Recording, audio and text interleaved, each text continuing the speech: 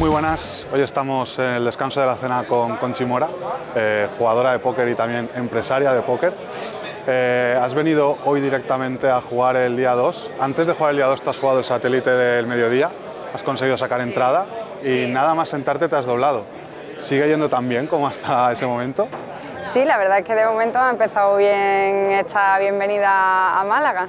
Llegué, no sabía si iba a jugar directamente el main o el satélite, al final me animé al satélite y nada, y lo demás pues, pues ya lo sabes, saqué entrada y ahí estoy, ahí estoy Para ser una primera participación lo firmabas, ¿eh? Hombre, totalmente, ya ves.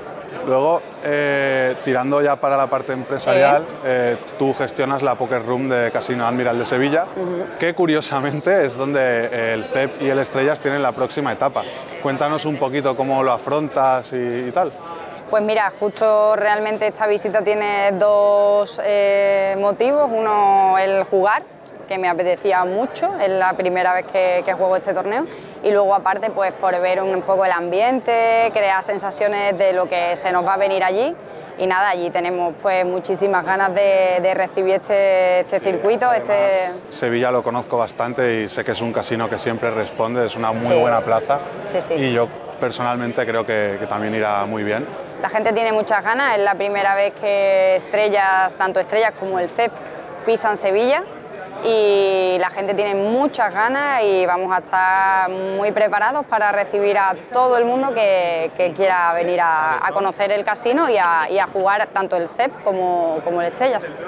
Allí no, no lo vas a poder jugar, la cuestión será ganar el trofeo aquí.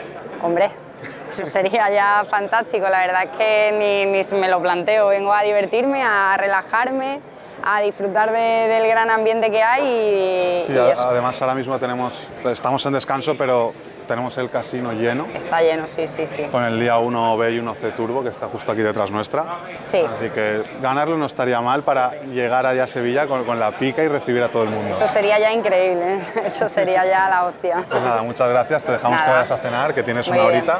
y nada, Muchas gracias, nos vemos en Sevilla, os espero a todos.